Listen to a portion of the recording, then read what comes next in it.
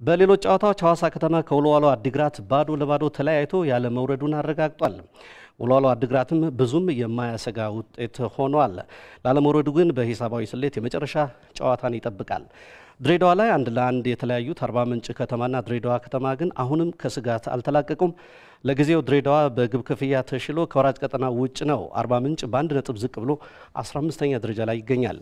መቀሌ ከተማ ሌላኛው የወራጅ ቀጠና ውስጥ የሚገኘውን ኢትዮ ኤሌክትሪክን አንድ ለባዶ ሲያሸንፍ፣ ጎንደር ላይ ፋሲል ከተማ ኢትዮጵያ ቡናን በተመሳሳይ አንድ ለባዶ አሸንፏል።